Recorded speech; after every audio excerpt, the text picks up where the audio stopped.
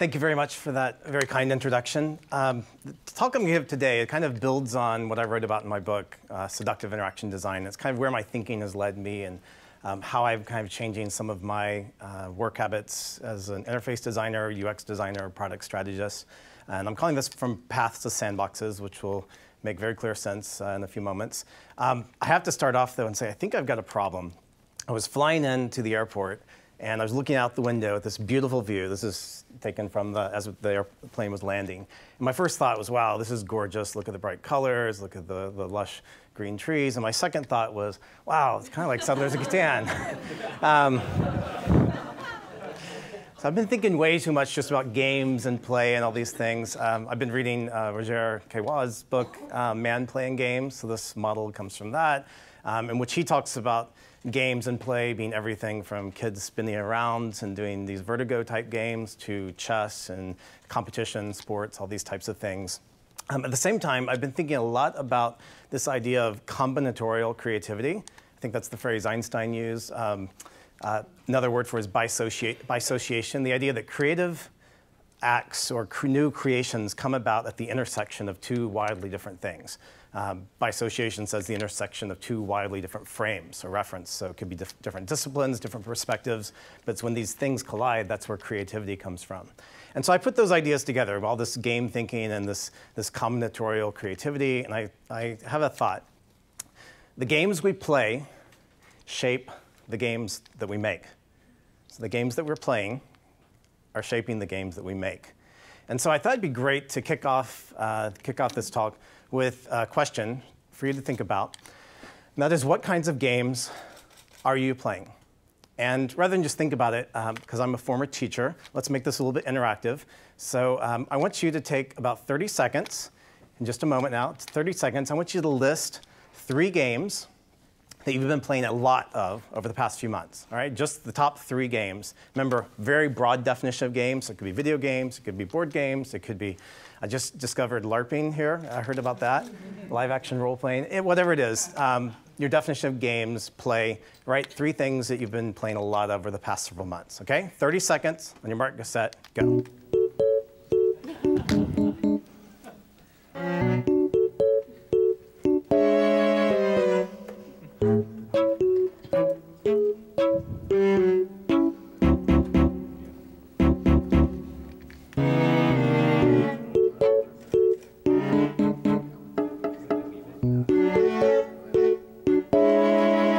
This from the Wii. All right, now go back to this one.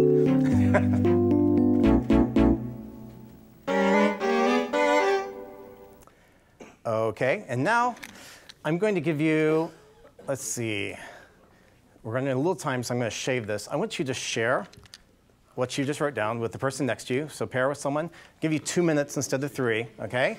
I want you to share what you just wrote down. Share the top three games you've been playing lately.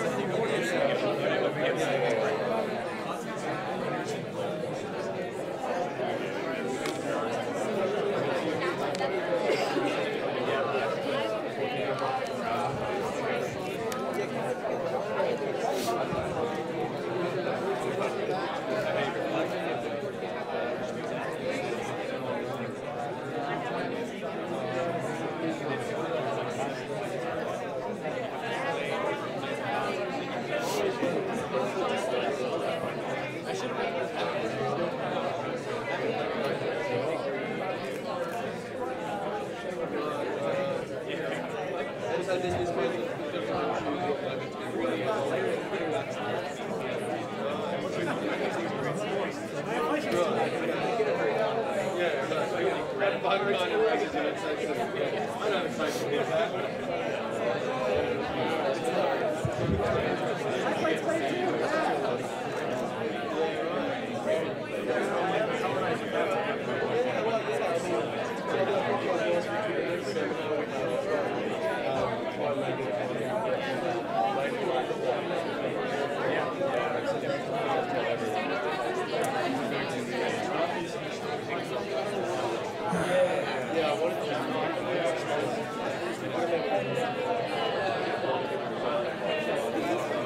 Okay, 30 seconds.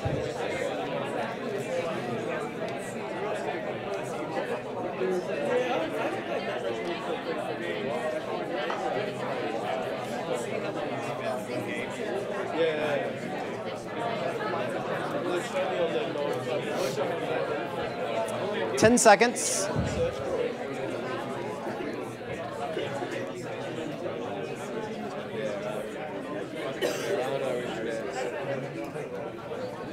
Okay. So now you either fully you are fully engaged or I've completely lost you. One of those two options. Uh, my turn. Can I share with you the three games I've been playing way too much of? Um, there's three games in particular. Uh, one I'm kind of embarrassed to share with you, but it's this game Candy Crush. How many of you have played or heard of Candy Crush? All right. If your hand did not go up, don't go out and add it. D just don't. All right. Don't start playing it. Um, it's kind of based on Bejeweled, if you played Bejeweled back in the day, kind of puzzle game, except they've added lots of novelty, lots of levels, lots of challenges, lots of curiosity. Um, they've also added some very devious mechanics that keep you engaged and addicted. Um, here's one of the particularly horrible ones. You're playing along, you're, you know, you've got going through a few levels, you know, a few lives, and then it says, oh, we're sorry, you can't play anymore. Here, 30, 30 minutes until you have another life. And so what it is, is it'll take a full two and a half hours to bank back up to five lives. And so you can wait 30 minutes and then play again, or you can wait a full two and a half hours, and then you have five lives banked up and just play for another series of rounds. Um, or, you know, if the instant gratification thing kicks in and you can't wait 30 minutes, um, you can connect with Facebook, spam all your friends, and do marketing for them, all right? Or you can join, you can, uh, more lives now, for a dollar, you can buy five more lives. Now, my very astute 10 year old said, uh, when I was looking at an article researching this, uh, the article was like, I spent $127 on Candy Crush in the weekend. And he was, his, his comment was, Isn't that a free game? I'm like, Yes, it's a free game. It's also one of the highest grossing games in the App Store. You do the math.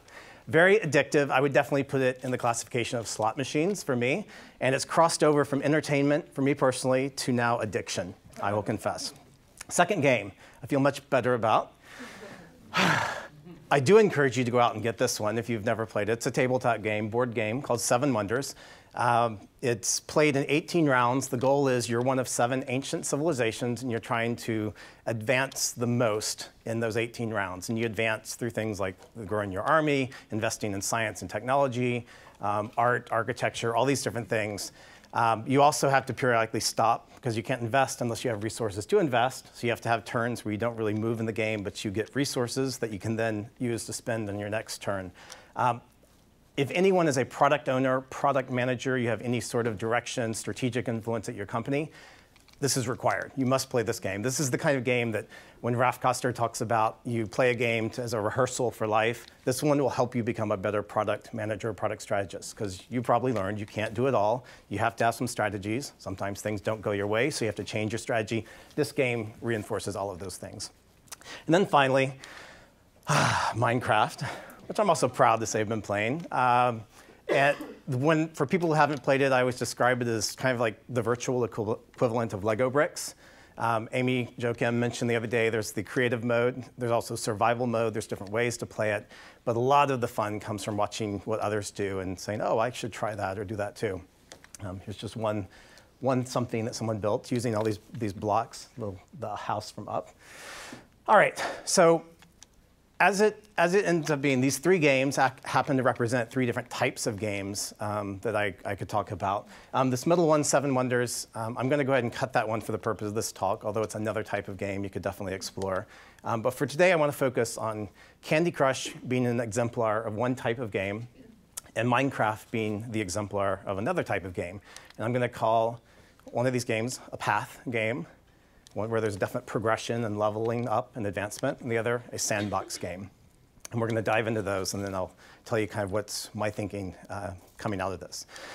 So let's start with paths. Um, the phrase paths I actually got from the whole, you know, direct the rider, motivate the elephant, shape the path thing. Uh, it was written about extensively in the book Switch by Dan and Chip Heath. Um, they actually got it from another book that preceded them. Uh, but this idea of the path, you want to shape the path that people go down and kind of direct them. As a way to encourage or nudge along certain behaviors. Um, this is very obvious in Candy Crush, where you have these levels. Um, it doesn't actually tell you how many there are. Um, there's probably four or 500 levels. They're kind of grayed out. I'm on level 166, I'm ashamed to mention. Um, um, but if you look at most video games, most video games tend to follow this progression sort of game paradigm, right? Everything's about advancing up, leveling up, getting more points, moving through the system. Um, this isn't unique to video games. This is in programs like Scouting, where you collect badges and you get ranks, right? Um, this is in our school system where you get grades, you have levels. It's in most career jobs, career advancement, professional growth. Um, it's also where, where, the experiences of it are uh, when you go to a restaurant or you check in at a hotel. There's definite paths or experiences that have been designed for us so they can create repeatable, nice experiences. So at this point, I would say paths are designed to lead people along for better or for worse. And you can debate the merits of, of designing these paths, uh, but they're, de they're design things and they're designed to lead people along. So here's an example. You could debate the merits of it. This is literally a path. It's a path tracker. And there, uh, this was a project done in 2005 where they put RDIF, RFID chips inside grocery carts. And then they monitor the carts and the paths of the carts so that they can then use that data to decide where to place things in the store for whatever purposes, usually selling more stuff purposes. Um, this is a very obvious path. It's been cleverly designed from the moment you enter a casino to the moment you try to leave. Like every bit of that experience has been designed, measured, tested for one thing, to separate you from your money. Maybe provide you an entertainment and process and the experience, but let's be clear. In Vegas, they're trying to separate you from your money. That's the goal. Um, and then family just came back from Disney World. Wonderful vacation, definitely in the entertainment uh, classification. In exchange for my money, we had a great experience. It's definitely a path. Uh, there's no doubt about it. Lots of paths to choose from. Every detail of that amusement park is designed, but it's designed to give you a great experience. So that would be a path as well. Um, paths are also prevalent in our work. So Amy jo, Kim, if you went to our workshop, she talks about the player journey, right? So that's a type of path. Um, Design with Intent from Dan Lockton, he talks about three types of paths, so enabling behaviors, motivating behaviors, constraining behaviors. So those are paths. If you've ever done a customer journey map, a service blueprint, a scenario, a user task in UX work, those are all types of paths, right? Um, even in uh, my work, in my workshop, I talk about behavioral goals, and I talk about their completion goals, where it's a one-time thing like a registration form. There are, are paths where you assist in developing new skills, so help me master this subject. Um, there's also habits, which you could argue are a type of a path. So these paths show up all over the place. And of course, there's no shortage of books, articles, models, and all sorts of things coming out telling you how to design these paths, how to nudge people, how to encourage people, motivate people, persuade, influence, choose your word. Um, so at this point, I would say again, paths aren't necessarily bad, right? We, when we go to when I go to Disney or when I go check into a hotel, I want them to have designed that experience. This talk, because it's narrative and structure, is a path. So you expect me to do a good job and lead you through a story and lead you to the points that I want to make. Um, but there is some backlash that I've seen coming. Um, this was actually in response to a a customer satisfaction email, or not customer, but just a user satisfaction email that Quora is sending out. And I happen to love Quora. I think they're doing a lot of great things to encourage people to ask and answer questions. Um, but you know, in this question, they said, you know, what, what, are some, what are your feelings about this? I'll just pull out two quotes. Um, this is the, the person responding said, I hate how gamified the system is. I hate how it's obvious that the people running it do not have any compunctions about manipulating human psychology to eke out engagement and growth. I think Quora epitomizes what's wrong with Silicon Valley startups, A-B testing everything to the point that you lose your humanity. Um, and then the closing line, where, I would like, where would I like to see more improvement? I'd like you to start treating your users with an ounce of respect. I'd like you to start treating me like a human being and not an effing statistic. So something to think about. Um, Kathy Sierra, who I think highly of, she's also been sharing some tweets like this. If we really cared about our users, we would not use any behavioral tricks, nudges to suck them into spending more time on our site. If we really cared about our users, we would try to help them spend less time engaging with our site. If we really cared about our users, we'd take all the persuasive manipulation tricks, intermittent variable rewards, et cetera, and do the opposite. So again, taking that very firm do we care about the user and what their interests are perspective? So just to kind of sum up some thoughts on paths, and again, there's no judgment being made either way here. Um, paths definitely shape behavior. Um, there are games to be played. And we've, one of the themes we've heard over the weekend is once you make something a formal game, people will hack it and find the extremes and find out how to play the game. Um, paths lead people along, lead people down a certain pre-designed path, of course. Um, you have predictable outcomes, even if things don't go the way you, went, you desired. You can predict that and say, well, that's the other path they didn't go down, right? So there's predictable outcomes. They're measurable. You can quantify them. We've seen a lot of that this week. Um, you can design every detail. I have a different talk where I actually talk about micro moments and every little detail in the interaction, designing it and attending to it. Um, they're consumptive, meaning people usually consume some sort of material, some sort of content. Um, they also create a dependency on the path, on directions. And I'll come back to this in a minute. Um, they have clearly, a clearly defined purpose. This is why we're creating the path. This is the goal. This is what we wanted to measure. This is what we want to encourage. This is what we wanted to test. They lead to completion. And then my final, or they're best for instruction, I would say, definitely when you want to train people. Uh, my final thought, and this was after a lot of conversations with some very smart people, is paths ultimately end in a transaction. There's a transaction of some sort, an exchange of some sort. Usually it's time and money for a service or a good. Maybe it's me spending my money and my time to lose weight, right, with a, with a fitness program, right? There's some exchange, though, that happens. We're promising this in exchange for this from you. All right, so is there something more? I think you know the answer to this. Um, sandboxes. So let's talk about sandboxes. And this, by the way, is a wallpaper I have that's actually one of the worlds of Minecraft, if you actually were able to pull back and look at the entire world. Um, so I was doing a workshop uh, or a talk back in February, and we did an exercise where I asked people to, um, to, find, to identify for me why they thought these experiences that I'm about to share with you, these experiences are so maddeningly addictive. And what I wanted to do was pick three sites that have just people spend hours of their time on these sites. Um, they're definitely engaged. They're, you could say addicted if you want, um, but these, there's just a high level engagement, millions of users. So the three sites I picked were Pinterest. Any Pinterest users in here? All right. Uh, Minecraft, which is a game, and Twitter. And I said, okay, pick one of these in fact, I'm going to do this right now. I think we're doing OK on time. Pick one of these online experiences.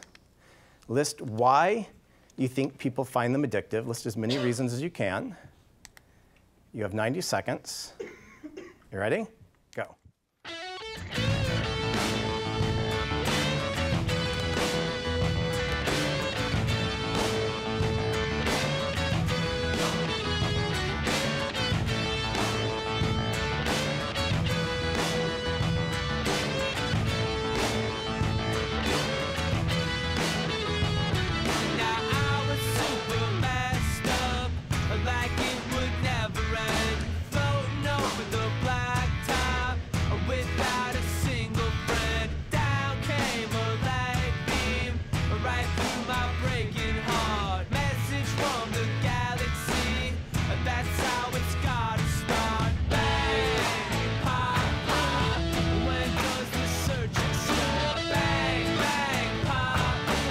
Okay, I just teased you. We're not doing well on time. Let's keep going. Surprise, right? All right, now if you, you probably started listing something very similar to this. These are actually the things I talked about in that talk. I said there's the idea of set completion, there's sequencing, there's appropriate challenges, there's status, there's curiosity collecting autonomy, there's all these things. And these are the tactics that I normally talked about, principles really, um, from psychology. If you come to my workshop this afternoon, this is the kind of stuff we're gonna talk about. But it was in doing this talk internally with this company, something else struck me about all these, these three examples I had picked. I picked these examples because there's high engagement. Um, but when I started looking across these, I was like, well, there's actually a couple fundamental things that are true about all of these um, systems. One was these are platforms. You can make of them what you want. There is no prescribed way to use the system. And I became aware of this because I remembered my first time using Pinterest. I think it was in 2010. Um, and then first time using Twitter back in 2006, um, and then Minecraft when it was still in an alpha mode early on. And they all shared what I'd call the WTF problem. No, not what you think. the what's this for problem. Why would I use this? What's going on here, right? What? And lots of people looked at Pinterest, myself included. They even had a nice onboarding experience, but I was like, yeah, I, I don't see how I could use that. Um, and so that leads to the second observation. These are social platforms. People learn from each other how to use the system many of the psychological nudges that follow stem from observing others. And that's different from paths. In paths, when you create a competition or a leaderboard or status, it's very top down. It's directed by the people designing it. But those same elements that showed up in Minecraft and in Pinterest, they were emergent or they were self imposed by watching other people, by sake of the fact that this was a community system, a social system. A lot of these, these psychological nudges emerged from that. And so um, if I had to boil it down to one idea, it's positive mimicry. What can we do? Or actually, I should read this. We learn by modeling our behavior after others. So in the case of Minecraft, like I played with it, I was having a good time. But then I watched my boys doing really interesting and clever things. I was like, ooh, I should try that. So my oldest son started playing with iron and basically creating electricity and making things automated. I'm like, how'd you do that? And, then, and so I watched by uh, watched others and then tried to do it myself. And of course, he was going online to YouTube and watching what other people were doing and learning what he could do. The whole hashtag thing uh, was an emergent property in Twitter. It may have existed before, but it took off in Twitter. Just people started using it. The same at replies. They later became formal and standardized, but the whole at uh, as a way to reply was something that emerged from within Twitter. And then finally, with Pinterest, I told you I'd given up on it. But it wasn't until a year or two later when I saw my wife using it to, to pin some ideas for redecorating our bedroom. I was like, oh, I started pinning ideas for what I'd like to do with my office. And then I thought, wow, this is a really awesome visual bookmarking system. I'm looking at lots of things like uh, uh, Internet of, Internet of Things objects, smart objects, things like that. And so I started bookmarking them with Pinterest. And so now I have this nice visual list of all these sites I've bookmarked. Um, same thing goes for infographics and data visualizations. I can now see a visual bookmarking. I mean, that's what Pinterest is for me personally. So sandbox, um, that phrase actually comes from games proper. Um, a sandbox game is a style of game in which minimal character limitations are placed on the gamer, allowing the gamer to roam and change a virtual world at will. In contrast to a progression style game, a path, a sandbox game emphasizes roaming and allows a gamer to select tasks. So some comments about sandboxes. They create an open space for self-directed play, and creativity. I've mentioned Twitter, Pinterest, Minecraft. Um, GitHub is another sandbox I would consider. In fact, there are people talking about using GitHub for all different purposes. So this is a project to make a GitHub for writers, where writers can collaborate and have versions and check-ins and pulls of, of different drafts of things you're writing. Um, while not a sandbox per se, I would consider Lego bricks the ultimate sandbox toy. So there's definitely the path, the instructions you get when you order the set and you build whatever you know that you bought, right? But then after you're done with it, you take it apart and you make whatever you want. You create stuff. Um, just because I can. These are some of my favorite things I've pinned on Pinterest lately. They're Lego creations. So we got cameras, and this one actually, the, a Polaroid actually comes out. It's like kind of cool. Um, and then birds. I mean, who would have thought, right, with these little bricks with dots that you could make this stuff like this, that you could be so expressive. But that's what sandboxes encourage and allow. Now, I'm a parent, as I mentioned. I have uh, several boys. And um, how many of you are parents? Just show of hands. All right. So maybe you can relate to this, especially those of you who have kids who are under the age of like six, um, five or younger. Um, kids tend to get lots of toys, right? And so you start looking, well, how can we clean up this room? How can we organize it? Um, and you probably end up, many of us, I would suspect, end up with some system where like, okay, these toys go here, these go here, and you probably invoke some sort of rule like, well, you need to put away all of the X before you can take out the Y, right? And it's a way that we're trying to design them to be organized, keep their rooms clean. Have you done something like this? Some sort of organization system? Okay, you don't have to raise your hand. Uh, we've done the same thing, but then there was a part of me that felt very guilty when I was watching Toy Story for the umpteenth time. And I'm watching just how creative Andy is being, as he's got these Hot Wheels and these military figures and Mr. Potato Head and these boxes that he's written stuff on. And he's just playing. I'm like, wow, that is so awesome. That's so creative. I wish my kids were more creative like that. And I think, wait a second, I haven't encouraged that. I've got this, you know, pull one out and put another back. So now we just have a big box and everything goes into it, all right? Um, but so that's just think sandboxes play in all areas of our life. Um, while we're on the parenting subject um, and kids, uh, Christopher Alexander, in his book A Pattern Language, also talks about this idea. And he introduces an architectural pattern called the Adventure Playground. Now, I'll just read this to you. A castle made of carton, rocks, and old branches by a group of children for themselves is worth a thousand perfectly detailed, exactly finished castles made for them in a factory. And the proposed solution set up a playground for children in each neighborhood, not a highly finished playground with asphalt and swings, but a place with raw materials of all kinds nets, boxes, barrels, trees, ropes, simple tools for frames, grass, and water, where children can create and recreate playgrounds of their own. That is a sandbox right there. Now, of course, some of you are parents. If you were looking closely and you saw that this kid has a saw, right? and you're thinking, how old is he? What is, yeah. Um, and that, that, was my reaction too. But then I read a, a counter argument that actually I think I agree with more. And it was I'm convinced that standardized playgrounds are dangerous, just in another way. When distance between all the rungs in a climbing net or ladder is exactly the same, the child has no need to concentrate on where he puts his feet. Standardization is dangerous because play becomes simplified. So you're seeing kind of the pros and cons of both of these paths and sandboxes and things to consider. We run down sandboxes, but now you have something to contrast it with.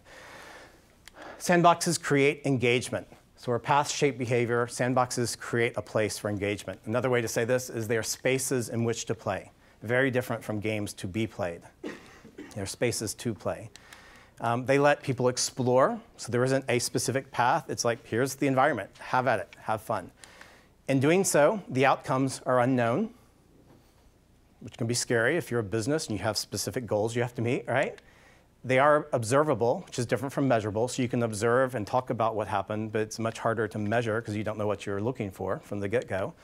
Um, I'll talk about this one more in a minute. They tend to underspecify the design or underspecify the details. They're generative as opposed to consumptive. Think Sebastian, actually, I picked this up from, uh, Sebastian has given a talk on a similar theme, and he talked about generative spaces is what, what we're creating here. Um, so they're generative. They encourage autonomy. Purpose is self-determined, so we're getting a little Edward Deci here in self-determination theory.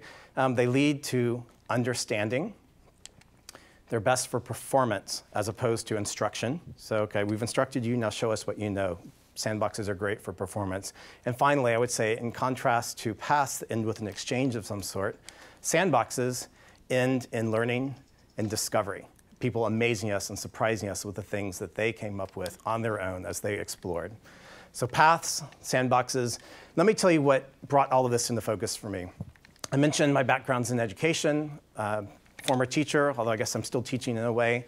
Uh, I am a huge fan of the Montessori method. I went through Montessori through sixth grade, and I've talked about Montessori uh, positively for many years, but it wasn't until earlier this year that I actually sat down and read the Montessori method. And I said, I want to really get intimately familiar with, with uh, Maria Montessori's ideas and what she was talking about in the context. And there were two quotes that really, really stuck with me. The first was this one, and this, by the way, sums up my thoughts on gamification as I see it practiced. The jockey offers a piece of sugar to his horse before jumping into the saddle.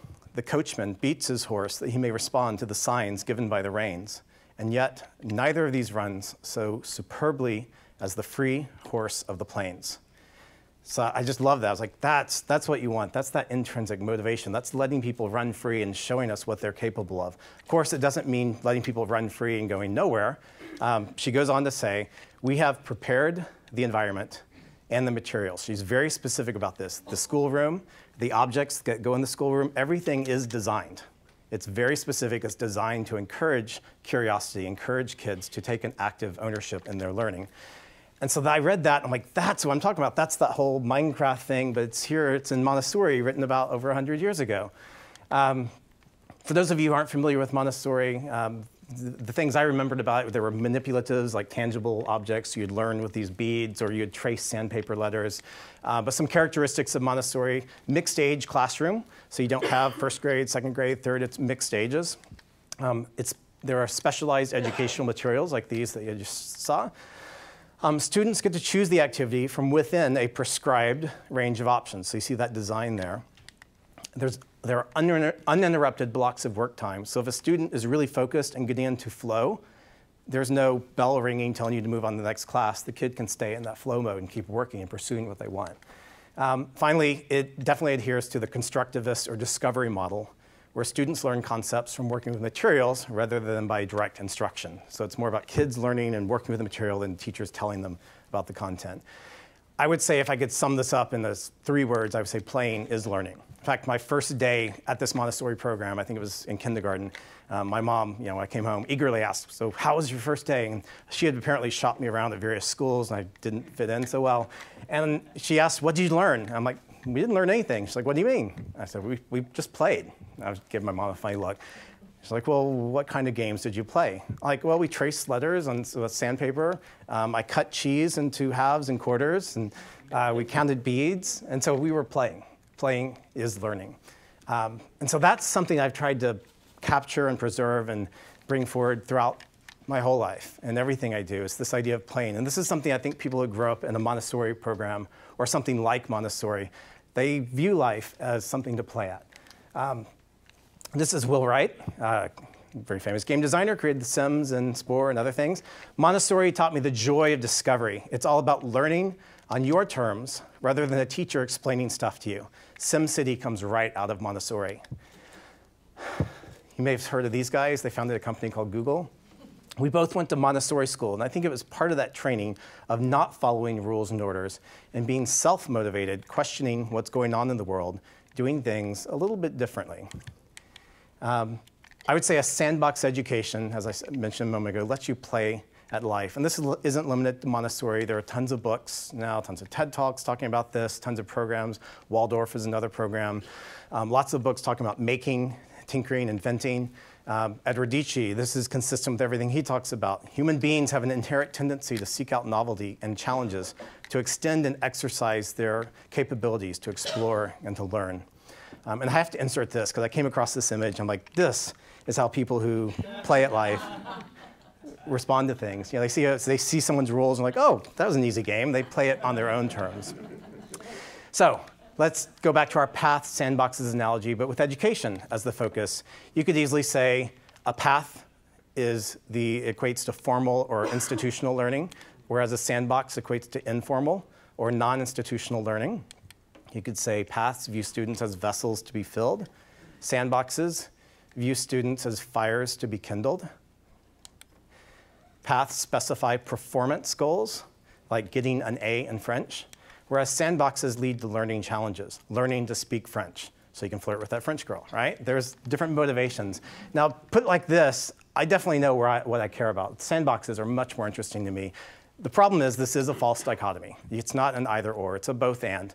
The question is, how do you mix these up? Because you can't just put kids in a room and let, leave them alone. There has to be design, there has to be scaffolding. Uh, to use word, another word I got from Sebastian, has to be scaffolding to help kids along in those early stages or to let them know what they can do or what challenges there are. Then you have to back off and let them take it over themselves. There's definitely a mix. And there's a variety of ways you could mix this. One way I think of it is a sandbox with little paths to help you learn skills you need, just-in-time skills. Um, this was how I taught myself Photoshop. I had a project I wanted to do. I think it was creating a CD cover for a friend. I didn't know anything about Photoshop, so I dove into it, and at some point, it's like, what's this filter do? And I started playing and figuring it out. If I got stopped, I went and read a help tutorial or how to use this filter, and then I came back to it and accomplished the goal, the thing I wanted. Um, I was actually encouraged, I was doing some research on this, and there was a study um, uh, looking at teaching, I think it was uh, uh, girls in junior high um, coding and development, and they took a program called CodeSpells, and I'll just read this to you. Normally, learning in CodeSpells encouraged by, is encouraged by way of a series of quests, sound like a path, that must be completed with the use of Java-based spell crafting. In our version, players could walk up to in-game gnome-like characters who would give various spells to the player, along with simple explanations. Our hope was that these spells would serve as a starting point for code for exploration. And so that's very much similar to this model I've, I've done, where you have this game, you're playing, when you need help, you go up and you get on a short path. Okay, now, you're probably finding this very interesting and stuff, but you're thinking, okay, but how is this going to change what I do? What, I've got to go back to work on Monday, and this is very aspirational, but I need something practical. Um, let me share with you how this is changing my work and what I'm doing differently. So this is the very pragmatic, practical, how can I use this portion of the talk. Uh, first off, I mentioned underspecifying features.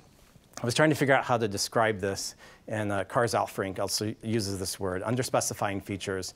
Um, I want you to think about Twitter and that whole starring thing. I've seen blog posts where people debate or discuss what the purpose of a star or starring something is, and people even ask, is it for is it for like sending kudos to someone? Is it like a bookmark? Is it is it uh, to save something for later? Is for retweeting? Is save something for personal use? Like they've talked about all the different uses, and if you're used to an agile scrum you know, sort of environment, you could imagine trying to write the user story. As a user role, I want functions so that benefit. Well, it wasn't specified. We were, we're going to put starring in. We'll see what people do with it. There's lots of ways people can use it. Let's just have this feature. This is very different from the prevailing mentality, which is what is the user story? What is the scenario? What's the thing we're trying to support? So you could imagine if we had gone with one of these, we need a way to flag something for saving later. There would have been all sorts of stuff built around it, and it would have worked really great for that one use case, but it wouldn't have supported others. So by underspecifying the functionality, they're able to make something that appeals more broadly to most people. And also by having the API, something I'll mention in a moment, people can customize that however they want. So that's what I mean by underspecifying features. Okay, the next thing I would say is is avoid long workflows. Just, just don't. They're bad. just speaking from experience, long workflows and systems don't work. Um, short paths, great. Long paths, not so good. This is where I get to confess to uh, personal failure on a project. Um, we were working in a space, meetings, or sorry, promises, making promises. And there's a lot of well-documented literature about how to form a promise, how to follow through on it, how to, how to hold people accountable. And so uh, we, uh, we had every possible scenario accounted for. This is one moment in time. So you've just received this request. You can accept it. You can ask someone to modify the request. You can modify the details and send it back to them, or decline it. Those are your options. This was based on research. Um, in fact, this is one path, but if we pull back, this was the whole artifact. This is a big poster, and we had every possible scenario mapped out. It was like a giant choose your own adventure book, which is great until that first user comes and says, those four options you gave me don't I don't relate to any of those. Where's the fifth option for me? Or they don't understand the language for it. And that's when the whole thing falls apart. So we ended up actually gutting most of what we did, did and pulling it back and underspecifying. Um, this, again, was a reminder of an age-old principle, keep users in control. And by doing this long scripted workflow, we were in effect taking away control. Okay, build and consume your own APIs. This is just a good practice. A lot of startups are doing this. Rather than building everything as spaghetti code all integrated, uh, startups take tech teams take a little more time to build things as an API first, and then they build the interface layer on top of their own API. This makes it easier to iterate and explore and fine tune things. It makes it easier to build for multiple devices. It's just good all around. It takes a little more time up front, but the payoffs in the long run are much better. And it's not just the API level. When we're talking about sandbox, I've focused primarily on the interface. But sandboxes happen at the API level. They happen at the scripting layer. With Minecraft, you can add mods. That's been a big part of its success. And they even happen at the most fundamental layer, open sourcing the code to some place like GitHub and seeing what other people do. Back off. Let people make mistakes and learn through trial and error. So a startup I worked with in, uh, a couple years ago, who I'm now working with again, we designed and iterated with uh, several charter schools, and we had a very nicely uh, it wasn't quite heavily scripted, like I'm cautioning you against, but was, there were definitely blockers and gates. This, um, the context, by the way, is teachers and their formal observations. So a principal comes in twice a year, does a formal observation. There's a series of checkboxes you have to go through.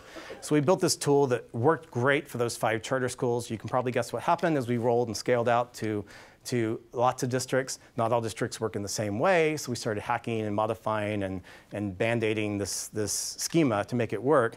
Um, I came back in the summer, we just did an overhaul, and the whole theme of it was make it more open, make, let's pull back, let's underspecify features, let's make it work better for all.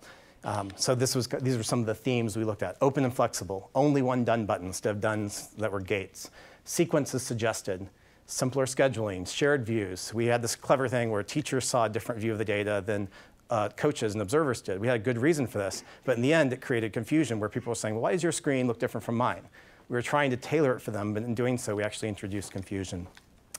Um, direct manipulation is best. This goes back to playing. If you're going through a traditional CRUD environment where you create something, you save it, and then you look at it, that's not playful. Um, let me give you an example. This is part of the reason I don't blog very much. This is the interface. It's painful. And when I go to write a blog post, I end up doing this about 30 or 40 times, writing it, then previewing it, then editing it and previewing it, and editing it and previewing it. Can anyone relate to this, the whole previewing thing? Contrast that with the interface for Medium. Have you seen this? This is the interface. You are creating what's going to be published. So here you're typing it in. Um, I'm going to actually fast forward a bit and show you when you add an image, what happens. So you're having direct manipulation. There is no like form to fill out, hit save, then preview. It's all one and the same. So that's what I mean by direct manipulation. It encourages that playfulness. Um, along those same lines, help people understand through playful interactions. It's not been formally announced yet, but I am going to be writing another book, and it's specifically about this topic, how we can learn through playful visual interactions. Let me give you a couple examples of this. Um, this one was from a talk that Bret Victor gave last year, and he's talking about coding environments and how in most coding environments, you know, you would change a number that you're not entirely sure what it is. You would hit save, you'd hit refresh on the page, and you'd see the change. You'd do this over and over again. Well, by introducing a simple slider in there, you're able to explore thousands of options that would have taken you hours to do in mere seconds. And you're able to see and learn what those numbers mean and what they're about. So through this interaction, you're actually understanding what's being done. You could actually have those moments of serendipity like that. We're like, whoa, I didn't know that would happen. Um, definitely, if you haven't seen that video, I watch it when you get the slides. There's a link down there. Another company I've uh, observed in schools uh, is ST Math. And they have this very visual approach to teaching math uh, primarily at the elementary grade levels. And some of the founders, there's a lot of neuroscientists involved, but there's also people who wanted to have a math program that did not rely on language. Uh, one of the founders has dyslexia, and he was saying a lot of times his problems with mathematics had nothing to do with math concepts, it had to do with language and the weaving of language into math. So here, I'll let him speak for a second. Here's some exponents and some fractions. We're, we're basically able to boil all math down to how do you help a little penguin across the screen? So learning through playful visual interactions. And he actually goes on to say, the approach to teaching without words that I'm proposing makes heavy use of interactivity and instant informative feedback. All right, final kind of takeaway, and this is just a reminder of something that's been out for years. Um, when we look at paths and sandboxes and we're evaluating these, I would just say, um, quote Kathy Sierra, because I think I'm right on with her, which of these will help users kick ass? Right? And she's always asked this question for years, but it's, it's, it's a reframing of what we do. Which one will help people, help users? Um, just a good reminder. All right, if you're looking for a framework, that's as close as I'm going to come. with I just those tips. This is definitely emergent thinking for me. But I would do want to share this. Um, this is that quote again from Maria Montessori. We have prepared the environment and the materials. Um, if I was to boil that down in a framework, you have the, the environment, signified by the, the boundaries. You have objects in that environment. And there are also rules that actually govern this as well. Uh, as I was creating this, I actually came across a presentation from Dave Gray talking about knowledge games and game storming. So these games that businesses can play to lead to innovative ideas. And there you have the boundary or the, the sandbox. You have the artifacts or the objects and you have the rules. I'm like, wow, this is universal. This is nothing new. This, these are constant themes. What struck me even more was in this presentation, this is what Dave Gray had to say. Think about everything I'm talking about with play and learning and all that. The idea for knowledge games came from watching people at the cutting edge, edges of new disciplines, people who are entrepreneurs, creators, designers, and innovators. Watching them work, watching them play, and sometimes having the difficulty telling the difference. Having difficulty telling the difference between work and play. All right, with a few minutes left, let's go through our boss level. I want to shift the message just a bit. I opened with this statement, or this thought, that the games we play shape the games we make.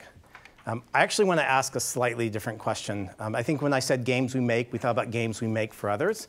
Um, what about the games we make for ourselves in our own lives? So I'll come back to this crossword puzzle that someone saw their own game, own way to play.